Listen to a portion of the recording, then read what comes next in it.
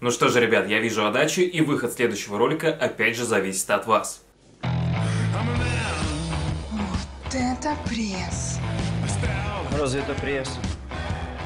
Вот это пресс. Делай ставки и побеждай. Покажи настоящий пресс. Эффект 1xbet. Зашел, поставил, победил.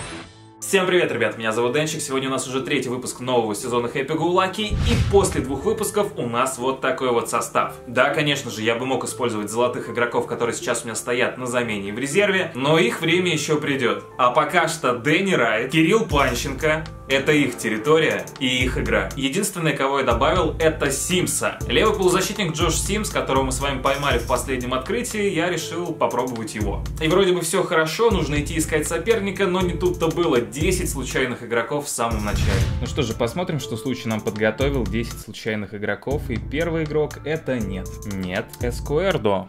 Ну, кстати, можно взять. Гей Гер.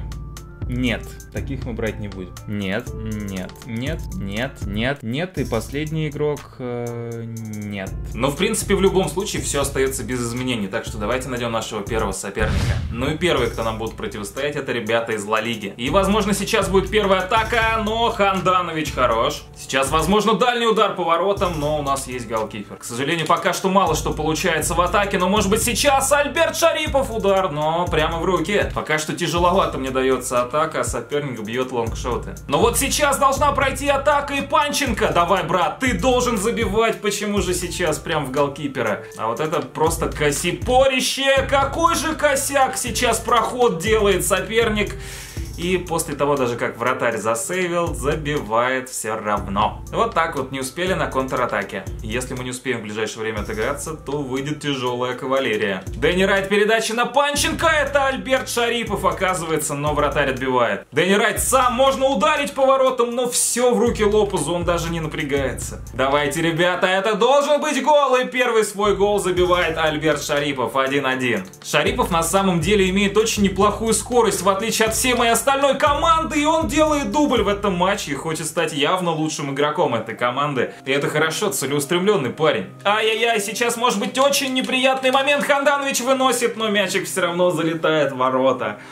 2-2. Вот так вот. Асенсио дают красную карточку, хотя мне на самом деле за 10 минут до конца матча это не горячо, не холодно. Сейчас нужно просто постараться завершить атаку, завершить ее взятием ворот и Дэнни Райт 3-2. Дэнни Райт отлично получил мячик, передача и Панченко. Я хотел на Шарипова отдать, но в итоге просто не нашел его на поле, а он, оказывается, был выше. Ведь если Шарипов у нас сейчас забьет, у него будет хэт-трик, но Лопес выручает. Ну что ж, матч заканчивается, счет 3-2. Не так уж и просто играть, на самом деле, этими не сыгранными, не самыми лучшими ребятами. Но так или иначе, они создают моменты и по возможности их реализовывают. И сейчас мы с вами откроем 5 игроков за победу и 9 игроков за 3 забитых мяча. 14 игроков на футхеде. Поехали. Ну что ж, в этот раз мы закончили без хэт-трика и, соответственно, только случайные игроки. 14 штук и первый игрок это...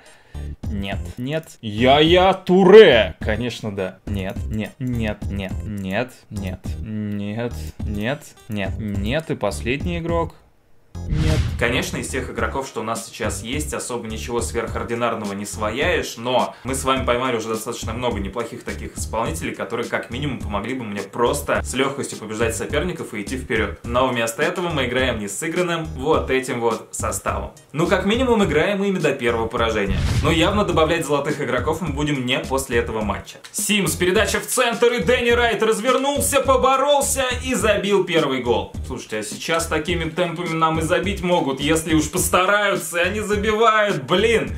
Почему я постоянно пропускаю? И тут же ответочка. Дэнни Райт, удар, и прям в вратаря. А если Шарипов долбанет, то выше ворот. Ну что ж, ладно. Поиграли и хватит. Дэнни Райт 2-1. В принципе, можно на 45-й минуте на, за Дэнни Райта забить и третий, и мы это делаем. Хэт-трик и уже, собственно, обеспеченные три золотых игрока после этого матча. Дэнни Райт, в принципе, может еще назабивать, но может отдать верную передачу на пустые ворота. Вот я, собственно, решил сделать так. Ну, прям просилась она. Дэнни Райт на своем пейсе, 52, если не ошибаюсь, проходит и бьет выше ворот. Вот у него реально реально планка три забитых мяча, потом он как-то встает и не хочет забивать. Интересно, а получится забить со штрафного за Кирилла Панченко? Ну-ка, он давно у нас не забивал, а со штрафного забивает. Вот молодец парень. У меня так даже Криштиану Роналду не забивает. Ну и Дэнни Райт, ну нужно сделать покер, нужно сделать красоту в очко, и Мэдисон выручает. Пока что в этом сезоне Happy Go Lucky покер делал только Панченко, у Дэнни Райта есть моменты, но никак он после хэтрика не может забить. Ну что ж, матч заканчивается, счет